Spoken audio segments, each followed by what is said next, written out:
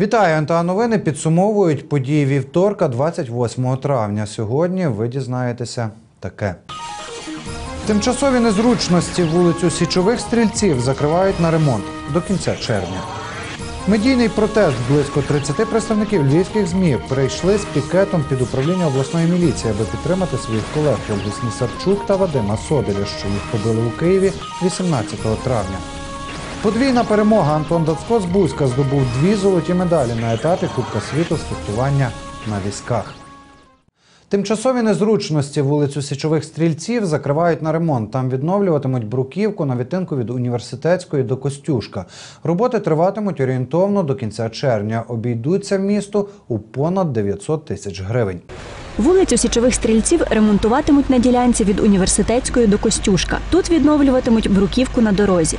На вулиці Січових стрільців заплановано відновлення мозаїчного покриття вулиці. Під тим шаром асфальту, який зараз є на вулиці Січових стрільців, е, знаходиться е, мозаїка, яку необхідно відновити. Під час ремонту планують зняти верхній шар асфальту та бруківку, що під ним. Потім на шлях покладуть основу, на яку знову вистелять зняту бруківку. На все це планують витратити місяць. Хоча кажуть в адміністрації, якщо не встигнуть, то продовжать термін роботи. Зараз вулицю вже готують до перекриття. Сьогодні займаються встановленням е, дорожніх знаків якраз для організації е, руху. Тобто рух необхідно скерувати іншими напрямками, так як е, саме вулиця Січових Стільців перекривається. Усі роботи на січових стрільців обійдуться міському бюджету у понад 900 тисяч гривень. Уляна Сінько, Юрій Гелетович, НТА Новини.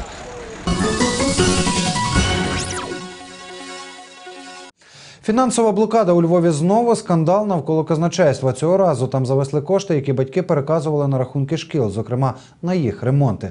Тепер підрядники не можуть отримати гроші за виконані роботи. У мерії побоюються, що відтепер батьки учнів взагалі відмовляться давати кошти на потреби навчальних закладів.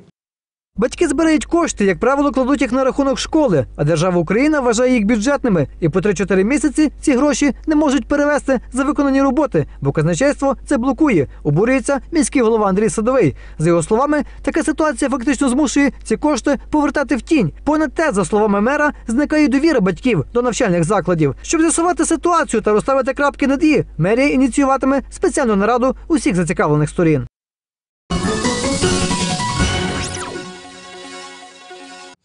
Медійний протест близько 30 представників львівських ЗМІ прийшли з пікетом під управління обласної міліції, аби підтримати своїх колег Ольгу Снісарчук та Влада Соделя, що їх побили у Києві 18 травня. Журналісти нагадали правоохоронцям, що сьогодні спливає 10-денний термін службового розслідування щодо міліціонерів, які не захистили представників преси, хоча й стояли поблизу. З міліції до протестувальників ніхто не вийшов. Журналіст не мішень.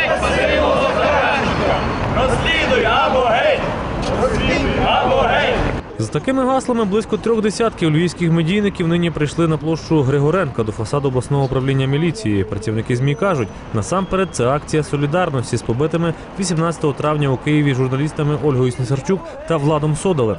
Нагадаємо, їм завдали пошкоджень молодики спортивної статури під час мітингів опозиції та представників влади. Люди у формі міліціонерів, які були поруч з цим дійством, спостерігали, не втручаючись. Коли б'ють журналістів, це дуже погана ознака для суспільства.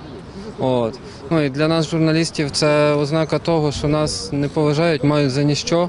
І коли е, до бандюків, які б'ють, долучається міліція, яка їх захищає, а не нас, то це може скінчитись дуже погано. Окрім того, кажуть, пікетники нині минає термін службового розслідування щодо побиття цих працівників ЗМІ. Відтак їхні колеги зібралися, аби нагадати правоохоронцям, що потрібно діяти та вже оприлюднювати якісь результати. Також кажуть, протестувальники акція є й своєрідним попередженням тутешнім стражам порядку, аби подібні випадки не трапилися у Львові. Ми спрямовуємо звернення на ім'я е, начальника управління Міністерства внутрішніх справ е, Олександра Вікторовича Рудяка е, про те, щоб провести роз'яснювальну спільну роботу е, серед працівників правоохоронних органів Львівщини щодо співпраці е, з журналістами і прозвітуватися про це перед журналістами впродовж двох тижнів. Якщо впродовж цього терміну керівництво обласних правоохоронців перед медійниками не відзвітує, вони обіцяють знову прийти до міліції, проте вже з радикальнішим протестом.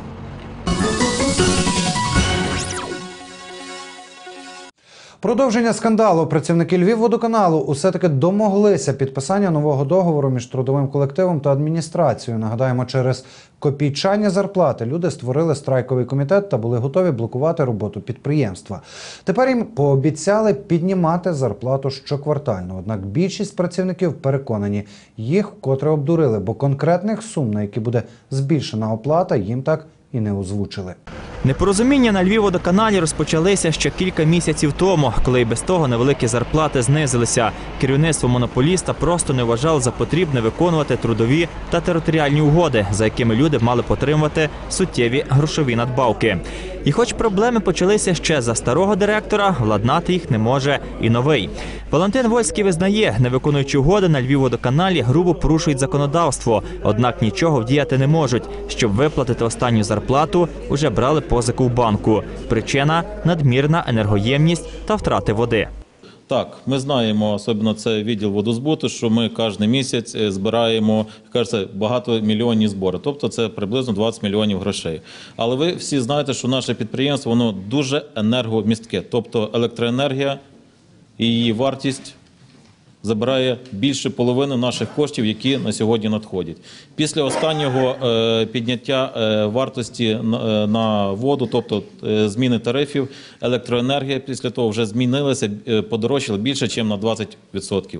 Живих грошей, каже Валентин Войський, на підприємстві немає. Понад те керівництво вирішило піти людям на зустріч і підписати з колективом новий трудовий договір. За ним зарплату підніматимуть поступово, щоквартально. До кінця 2014-го вона має вийти на обґрунтований рівень. Проте більшість водоканалівців обіцянкам уже не довіряє. Поетапно це означає, так як в минулій колективній угоді. Також було записано, що заробітна плата буде підноситися при, будемо говорити, фінансових можливостях. Ну, фінансових можливостей не було. І далі, що таке поетапно поквартально? Можна на 1% підняти, за той час інфляція в нас більше, ніж 1%. Навіщо її тоді підносити? Фактично, питання абсолютно не вирішене. Не вірять обіцянкам керівників представник тимчасової депутатської комісії щодо діяльності підприємства Андрій Карбовник. Він каже, підняти зарплату пообіцяли тільки у випадку економічного зростання на Львівводоканалі, а його швидше за все не буде. Коли 58% води, яка доходить до Львова, вона втрачається. Вона втрачається. Вони, е, керівництво каже, що це завдяки тому, що крадуть в першу чергу мешканці. Але було проведено на сих експеримент, в якому залучено е, більше 20 будинків і встановлено, що такі втрати становлять не більше 25%. Якщо врахувати частку, яку становлять е, фізичні особи споживачі, то це виходить порядка 7%. Ще 51% ми не знаємо, де він. І е, очевидно, щоб е, мати якісь нормальні фінансові результати е, при таких втратах, цьому підприємству слід працювати з рентабельністю як мінімум 100%. Основна проблема, переконаний Андрій Карбовник, у відсутності професійних менеджерів на підприємстві. Скажімо, Львівводоканал навіть не має дозволу на спецводовидобування, тобто працює повністю незаконно. Степан Гарцюк, Юрій Гелетович та Юрій Руденко. НТА Новини. Автомобільні барикади, третина пожеж у центральній частині міста набуває загрозливих масштабів через ускладнений доїзд спецтехніки до місця негаразду. Зазвичай перешкодою для руху є припарковані на вулицях приватні автівки. Аби показати, як важко добиратися до будівель в історичному центрі, надзвичайники нині влаштували навчання в Національному театрі імені Марії Зеньковецької. Як це відбувалося, бачили і журналісти НТА Новин. Сьогодні працівники театру імені Марії Заньковецької та львівські МНСники провели спільні навчання, аби відпрацювати ліквідацію ймовірної пожежі, що може виникнути у споруді. За легендою, в приміщенні архіву на третьому поверсі через замикання електромережі виникло займання. На щастя, нині пожежні авто до споруди таки доїхали, хоча і не без перешкод.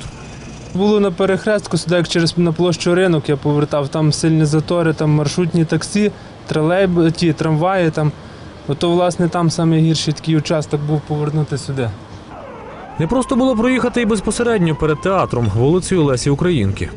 Досить е, проблемно було під'їхати, повернути із-за із-за транспорту, який знаходився саме припаркований навпроти театру.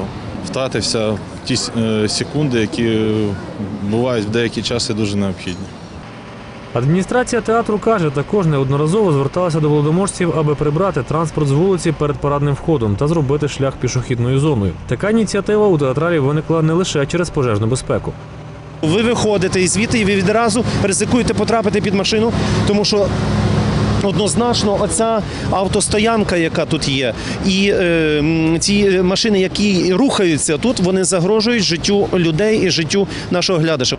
І театрали, і пожежники кажуть, на жаль, наразі не мають впливу на водіїв, які паркуються хаотично, а звернення до влади та працівників ДАІ нічого не дають.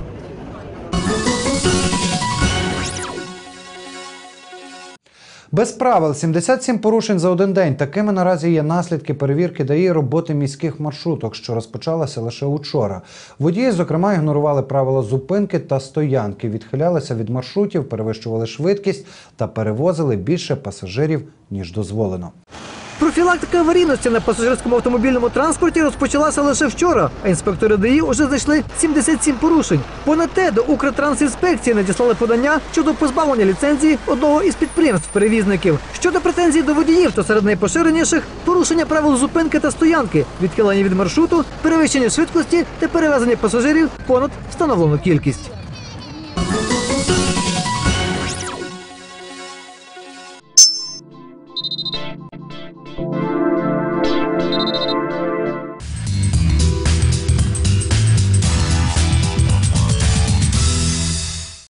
Далі у новинах спорт. Подвійна перемога. Антон Дацко-Бузька здобув дві золоті медалі на етапі Кубка світу з фехтування на візках, що відбувся в Італії.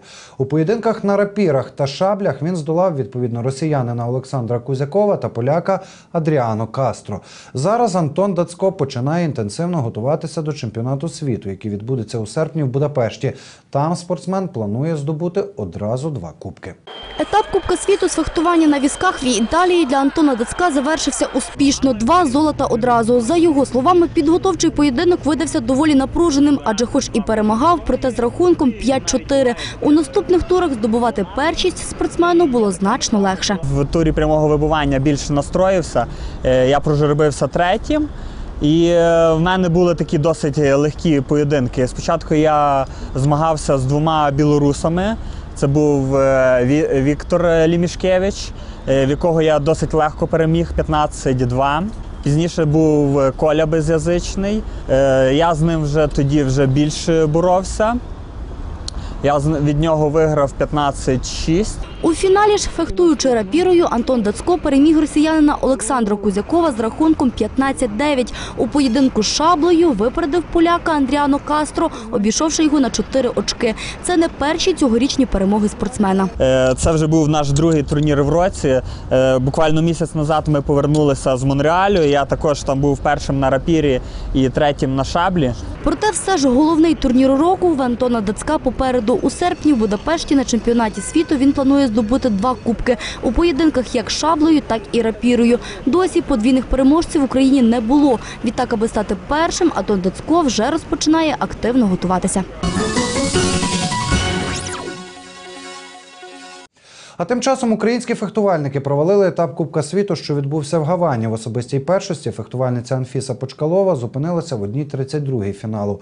Вона у підсумку 47-ма. Серед рапіристів львів'янин Ростислав Герцик 35-й, а Клод Юнець 72-й. У командному турнірі наші рапіристи в одній восьмій фіналу поступилися британцям і фінішували на 9-й позиції.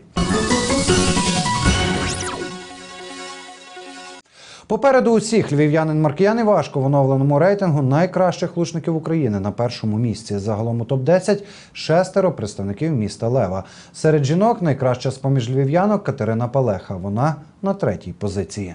Земляк Івашка Дмитро Грачов у рейтингу лучників на четвертому місці. Юрій Гавелко, Ярослав Мокринський, Євген Марченко та Віталій Комунюк розташувалися на місцях з 6 по 9 відповідне. Серед жінок лідирує чернівчанка Лідія Січенікова. Катерина Полеха на третьому місці. Ще дві представниці міста Лева Катерина Єворська та Вероніка Марченко на 8 та 10 позиції відповідно. І цією інформацією ми завершуємо випуск. Чекайте на свіжу новинну добірку від телеканалу НТА уже завтра. До побачення.